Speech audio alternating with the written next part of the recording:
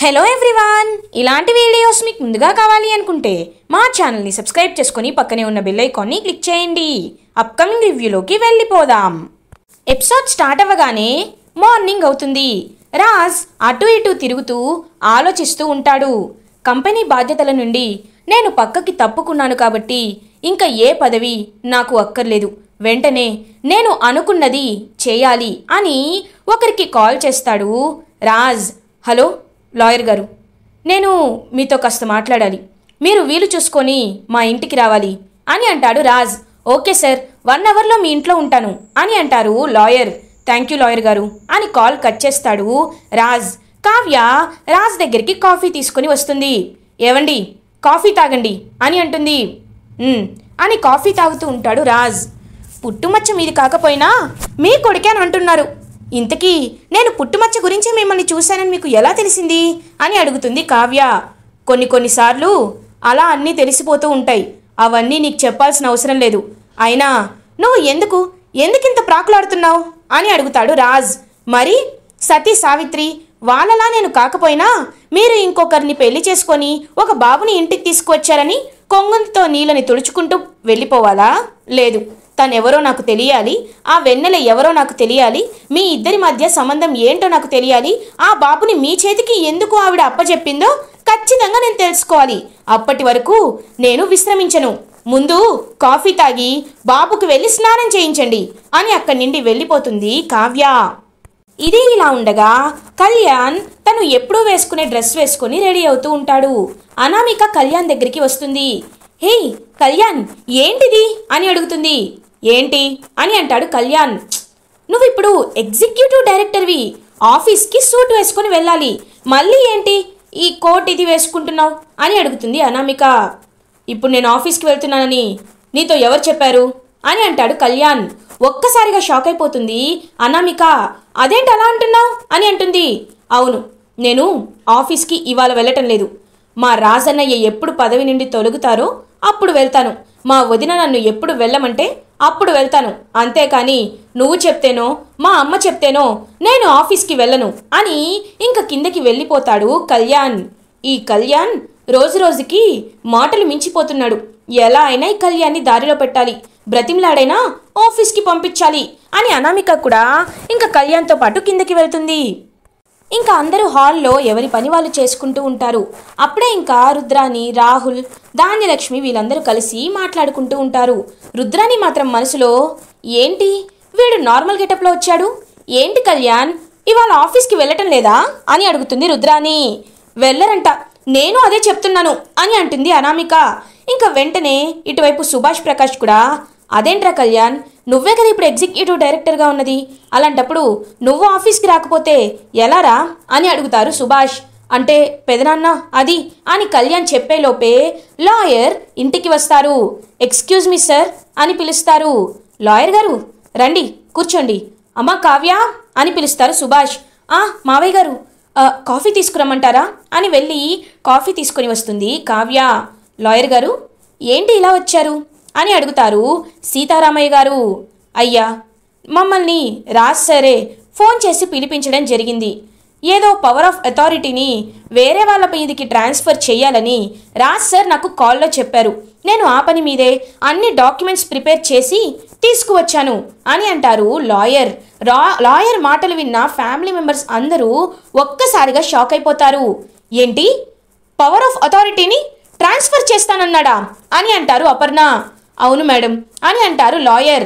రాజ్ రాజ్ అని పిలుస్తారు అపర్ణ. రాజ్ ఫ్రెష్ అయ్యి కిందకి వస్తాడు. ఏంట్రా ఏం చేస్తున్నావు నువ్వు? అని అడుగుతారు సుభాష్. అయినా మా ఎవరికి చెప్పకుండా లాయర్ని పిలిపించాల్సిన అవసరం ఏంట్రా? అని అంటారు ప్రకాష్. ఇంకా అందరూ అలా ఒక్కొక్క ప్రశ్న అడిగేసరికి మీ అందరి ప్రశ్నలకి సమాధానం నా దగ్గర ఉంది. నేను కావాలనే లాయర్ గారిని ఇంటికి పిలిపించాను. ఇకపై నేను స్వరాజ్ గ్రూప్ ఆఫ్ ఇండస్ట్రీస్కి మేనేజింగ్ డైరెక్టర్గా ఐ మీన్ ఎండీగా కొనసాగటం లేదు. ఆ విషయం అందరికీ తెలిసిందే. అందుకే నాకు ఉన్న పవర్ ఆఫ్ అథారిటీని నేను కళ్యాణ్కి ట్రాన్స్ఫర్ చేస్తున్నాను. అదే కాకుండా చెక్ ఇష్యూ పవర్స్ అండ్ ఏదైతే పర్మిషన్స్ అన్నీ కావాలో వాటన్నిటినీ కళ్యాణ్కి ట్రాన్స్ఫర్ చేయడానికే లాయర్ గారిని ఇంటికి పిలిపించాను అని అంటాడు రాజ్. రాజ్ తీసుకున్న నిర్ణయానికి రాజ్ డెసిషన్కి అందరూ ఒక్కసారిగా షాక్ అయిపోతారు. అపర్ణాదేవి గారు బాధపడుతూ ఉంటారు. ఇందిరాదేవి సీతారామయ్య గారు పాపం అన్నట్లు చూస్తూ ఉంటారు. అనామిక అండ్ ధాన్యలక్ష్మి మాత్రం ఎగిరి గెంతేసినంత హ్యాపీగా ఫీల్ అవుతారు. రుద్రాని జెలస్గా ఫీల్ అవుతుంది. కానీ మనసులో మాత్రం "హ్మ్, చెయ్యి చెయ్యి నువ్వు ఆ కళ్యాణ్ గాడికి అన్ని ట్రాన్స్ఫర్ చేయి. వాడు వీలైనంత త్వరలో అసమర్థుడని నిరూపించుకుంటాడు. వెంటనే ఆ పగ్గాలు నా కొడుకు చేతికి వస్తాయి అని హ్యాపీగా ఫీల్ అవుతుంది. రుద్రాని ఇటువైపు కావ్య సుభాష్ ప్రకాష్ స్వప్న అందరూ ఒక్కసారిగా షాక్ అయిపోతారు. రాజ్ ఏ నిర్ణయం తీసుకుంటున్నావు నువ్వు? అని అడుగుతారు అపర్ణ. అవును మమ్మీ నేను ఎప్పుడూ మాట తప్పలేదు. మాట మీదే నిలబడ్డాను. నీకు ఆ రోజు బిడ్డ కావాలా? పదవి కావాలా? నువ్వు నన్ను అడిగావు. ఒక గీత గీసావు నీ గీతని దాటి నేను పదవిని వదులుకున్నాను. ఆ మాట కేవలం మాటగానే ఉండిపోకూడదనే ఇప్పుడు ఈ పవర్స్ని అథారిటీస్ని కళ్యాణ్కి ట్రాన్స్ఫర్ చేస్తున్నాను. అని అంటారు రాజ్. అన్నయ్య అని అంటాడు కళ్యాణ్. కళ్యాణ్ నువ్వు కాసేపు సైలెంట్గా ఉండు.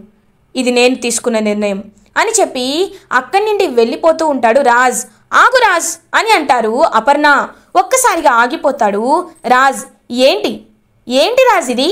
ఇది ఇల్లా? లేకపోతే ముళ్ళ కిరీటమా? నాకు ఏమీ అర్థం కావటం లేదు. బిడ్డని తీసుకువచ్చి కన్న తల్లిగా నాకు నీపై ఉన్న ప్రేమని పోగొట్టుకున్నావు. నీ భార్యకి నీపై ఉన్న నమ్మకాన్ని పోగొట్టుకున్నావు. బిడ్డ కావాలా పదవి కావాలా అంటే పదవిని కూడా పోగొట్టుకున్నావు. ఇన్ని పోగొట్టుకొని ఏం సాధించావు రాజ్? ఇప్పటి వరకు నువ్వు ఏం సాధించావు? అని అడుగుతుంది అపర్ణ. ఇంకా సుభాష్ వెంటనే లాయర్తో లాయర్ గారు నేను మీకు తర్వాత రమ్మని చెప్తాను. మీరు వెళ్ళండి అని చెప్పి అంటారు. ఇంకా లాయర్ అక్కడి నుండి వెళ్ళిపోతారు. చెప్పు రాజ్ నాకు సమాధానం చెప్పు. నువ్వు ఏం సాధించావు రాజ్? ఏం సాధించావు? అన్నిటినీ పోగొట్టుకున్నావు. ఇంకా ఇంకా నువ్వు నీ కొడుకు మీదే ఆధారపడాలనుకుంటున్నావా? వాడే అన్ని అనుకుంటున్నావా? అని అడుగుతుంది అపర్ణాదేవి. మమ్మీ నేను నా కొడుకుని తీసుకువచ్చినప్పటి నుండి ఒకే మాటపై ఉన్నాను. నాకు వాడికంటే ఏది ముఖ్యం కాదు. నాకు వాడే ముఖ్యం. వాడు నా బాధ్యత. వాడు ఈ ఇంటి వారసుడిగా పెరగాల్సిందే అని అంటాడు రాజ్. ఇప్పటికీ ఎలాంటి సమయం మించిపోలేదు.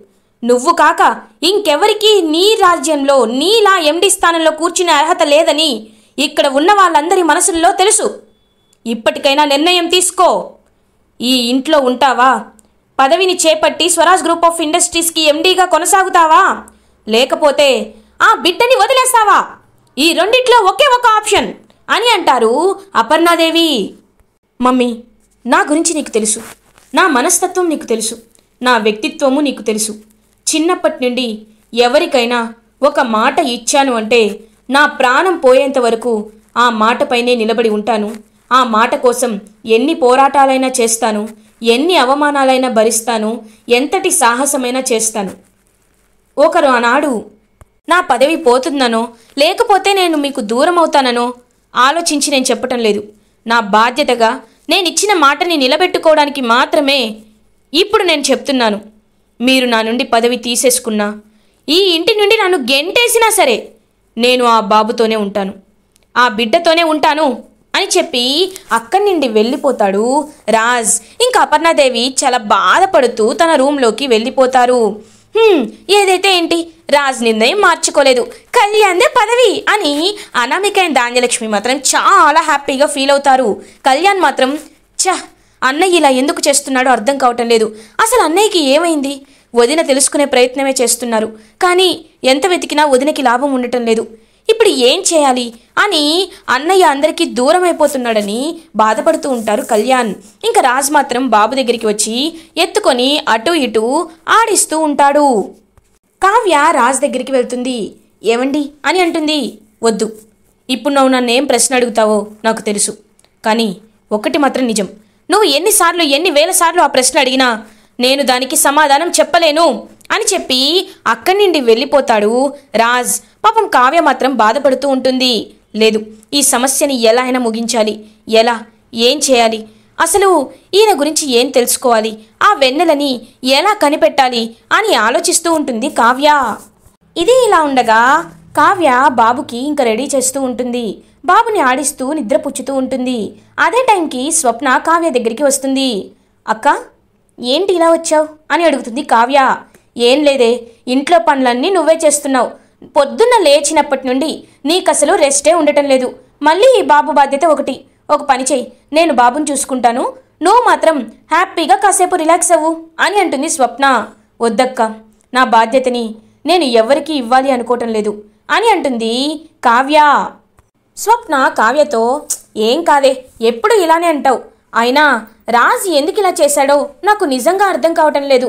రాజ్ అసలు చాలా మంచివాడు. అప్పుడు కూడా నన్ను ప్రేమిస్తున్నానని చెప్పి పాపం నా వైపే ప్రేమగా చూసేవాడు. ఎవరిని అసలు చాలా ఇన్నోసెంట్గా ఎవరిని ప్రేమించలేదని కూడా చెప్పాడే అని అంటుంది స్వప్న.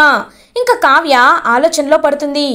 అక్క మిమ్మల్ని ఆయన అని అంటుంది.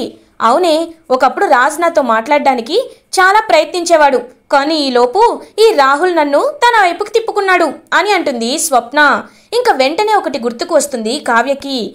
ఆయనకి భరతనాట్యం అంటే చాలా ఇష్టం. ఎప్పుడు భరతనాట్యాన్ని గౌరవిస్తూ అలాంటి వాళ్ళనే ఇష్టపడుతూ ఉంటారు. ఒకప్పుడు అక్క చేసిన డ్యాన్స్ వల్లే కదా ఆయన అక్కని చూసి ఇష్టపడింది. అంటే? అని ఆలోచనలో పడుతుంది కావ్య. ఇంకా వెంటనే కావ్య కళ్యాణ్ దగ్గరికి వెళ్తుంది. వదినా అని అంటాడు కళ్యాణ్. కవిగారు మీ అన్నయ్య గారికి అదే ఆయనకి భరతనాట్యం కూచిపూడి ఇలాంటివి చాలా ఇష్టం కదా అని అంటుంది. అవును వదిన అన్నయ్య ఫైన్ ఆర్ట్స్ అంటే చాలా ఇష్టపడతాడు. అలాంటి వాళ్ళని ఎంకరేజ్ చేయడానికి కూడా ఫండ్స్ అవన్నీ ఇస్తూ ఉండేవాడు అని చెప్తాడు కళ్యాణ్. అయితే మనం వెతుకుతున్న వెన్నెల ఒకవేళ అలాంటి కోవకి సంబంధించిన ఆమెడేమో అని అంటుంది కావ్య. నిజమే వదినా అని ఆలోచనలో పడతాడు కళ్యాణ్. కవిగారు అసలు ఆయన ఎక్కడికి వెళ్ళేవారు? లైక్ అలాంటి ఫండింగ్ గ్రూప్స్ ఏదైనా ఉంటే నాకు కాస్త చెప్తారా? అని అడుగుతుంది. ఖచ్చితంగా వదిన రండి వెళ్దామని కళ్యాణ్ కావ్య ఇద్దరు కలిసి ఎక్కడైతే ఇంకా రాజ్ ఎక్కువగా ఏదైతే ఇష్టపడతాడో అలాంటి ప్లేసెస్లో ఒకవేళ తను ఉండుంటుందేమో లైక్ ఇప్పుడు భరతనాట్యం అంటే ఎంత ఇష్టమో అలాంటి అమ్మాయిల్లో ఎవరైనా వెన్నెల అనే వ్యక్తి ఉన్నారేమోనని మొత్తం అంతా వెతుకుతూ ఉంటారనమాట కళ్యాణ్ అండ్ కావ్య. ఎంత వెతికినా వెన్నెల అనే పేరుతో ఏ అమ్మాయి అంటే ఏ అమ్మాయి కూడా కనిపించదు. కళ్యాణ్కి కావ్యకి. వదిన నాకు ఏమీ అర్థం కావటం లేదు. అన్నయ్య వెన్నెల అనే పేరు చెప్పడం ఏంటి? అసలు ఎంత వెతికినా ఆ వెన్నెల కనిపించకపోవడం ఏంటి? స్కూల్లో లేదు కాలేజ్లో లేదు. అన్నయ్య ఇష్టపడే భరతనాట్యంలో కూడా తను లేదు. అలాంటిది ఇప్పుడు తను ఎక్కడ ఉండుంటుంది అని ఆలోచిస్తూ ఉంటాడు కళ్యాణ్. అప్పుడే ఇంకా కావ్య అంటుంది కవిగారు నాకెందుకో? మీ అన్నయ్య అబద్ధం చెప్పారేమో అనిపిస్తుంది. అని అంటుంది కావ్య. వదినా అన్నయ్య అబద్ధం చెప్పడు కదా అని అంటాడు కళ్యాణ్. అవును కవి గారు అబద్ధం చెప్పరు. కానీ ఆ రోజు తప్పించుకోవడానికో లేకపోతే మళ్ళీ మళ్ళీ నేను ఈ ప్రశ్న అడిగి ఇబ్బంది పెట్టకుండా ఉండడానికో లేకపోతే వెతికి వెతికి ఇలా అలసిపోతాననో తెలివిగా ఇలా మనల్ని డైవర్ట్ చేయడానికే తను అలా చెప్పి ఉండొచ్చు కదా అని అంటుంది కావ్య. అప్పుడే కరెక్ట్గా రాజ్ అయితే కారులో కనిపిస్తాడు. ఇంకా రాజ్ని దూరం నుంచి చూస్తుంది కావ్య. ఏంటి? ఈయన ఇప్పుడు ఏ టైంకి ఇక్కడికి వెళ్తున్నారు? అని ఆలోచిస్తూ ఉంటుంది. ఇక్కడ కవిగారు ఉండడం మంచిది కాదు. ఆ కవిగారు మీరు బయలుదేరండి. నేను ఇప్పుడే వస్తాను. అని అంటుంది కావ్య. ఎక్కడికి వదినా? నేను కూడా వస్తాను. అని అంటాడు కళ్యాణ్. పర్లేదు కవిగారు నాకు చిన్న పనుంది. మీరు వెళ్ళండి అని ఇంకా కళ్యాణి పంపించేసి కావ్య రాజ్ని ఫాలో అవ్వడం స్టార్ట్ చేస్తుంది. ఇంకా రాజ్ ఒక దూరంగా అవుట్స్కర్ట్స్లో ఉన్న ఒక ఇంటికి వెళ్తాడు. ఆ ఇంటికి వెళ్ళగానే ఒక పని మనిషి అయితే ఎదురవుతుంది రాజ్కి. వెన్నెల కరెక్ట్గా చూసుకుంటున్నావు అతన్ని అని అడుగుతాడు రాజ్. చూసుకుంటున్నాను బాబు మీరు చెప్పినట్టే తనకి అన్ని టైంకి భోజనం దగ్గర నుండి అన్నీ నేను చూసుకుంటున్నాను బాబు అని ఆ పని మనిషి చెప్తుంది. అదంతా విన్న కావ్య అంటే పని మనిషి పేరు వెన్నెల అన్నమాట. తెలివిగానే తప్పించుకున్నారు. ఇంతకీ ఆ అసలైన అమ్మ ఎవరో తెలుసుకోవాలి అని తెలియకుండా ఫాలో అవుతూ ఉంటుంది కావ్య. ఇంకా రాజ్ అలా లోపలికి వెళ్తాడు. లోపలికి వెళ్ళి చూసేసరికి కావ్య కూడా ఒక్కసారిగా షాక్ అయిపోతుంది. ఇంకా కావ్య అలా ఒక వ్యక్తిని చూస్తూ ఉండిపోతుంది. తను ఎవరో కాదు రాహుల్ వాళ్ళ చెల్లెలు రేఖ అన్నమాట. ఇంకా రేఖ దగ్గరికి వస్తాడు రాజ్. రేఖ ఇంకా అలా నిద్రపోతూ లైక్ స్పృహ కోల్పోయి ఉంటుంది. రేఖకి అన్ని అరేంజ్మెంట్స్ అయితే చేయడం జరుగుతుంది లైక్ సలైన్ పెట్టడం. అదంతా ఇంకా మొత్తం ఒక హాస్పిటల్ టైప్లో ఒక అరేంజ్మెంట్ అయితే ఉంటుంది. డాక్టర్ అక్కడే ఉంటారు. రాజ్ డాక్టర్ దగ్గరికి వెళ్ళి డాక్టర్ ఇప్పుడు తన కండిషన్ ఎలా ఉంది? అని అడుగుతారు.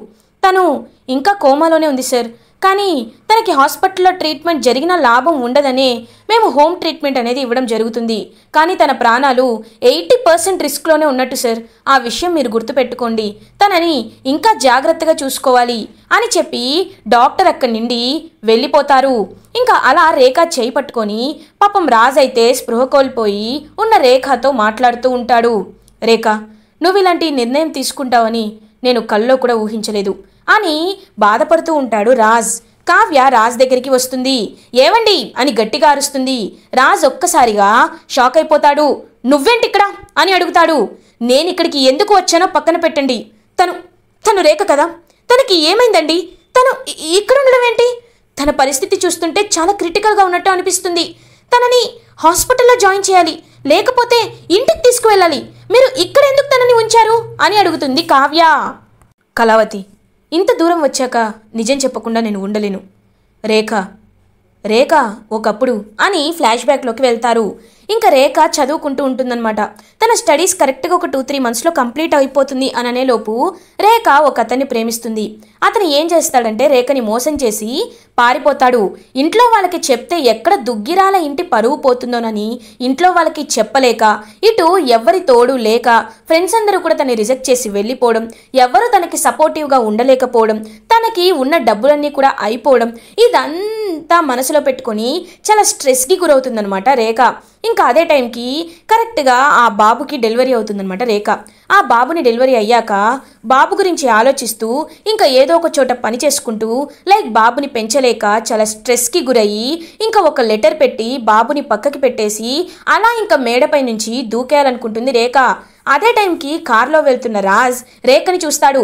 రేఖ రేఖ అని చెప్పి పిలిచేలోపు ఇంకా రేఖ అయితే కింద పడిపోతుంది. ఆల్మోస్ట్ అన్కాన్షియస్లోకి కోమాలోకి వెళ్ళిపోతుందనమాట రేఖ. లైక్ తన నర్వ్స్కి అండ్ బ్యాక్ బోన్కి ఎక్కువగా లైక్ ఇంజ్యూరీ అవడంతో ఎక్కువగా ఫ్రాక్చర్ అవడంతో తను కోమాలోకి వెళ్ళిపోతుంది. ఇంకా బాబు పక్కన ఉన్న లెటర్ని చూస్తాడు రాజ్. ఈ బిడ్డని ఎవరో ఒక దానాత్ముడు సరిగ్గా పెంచాలి.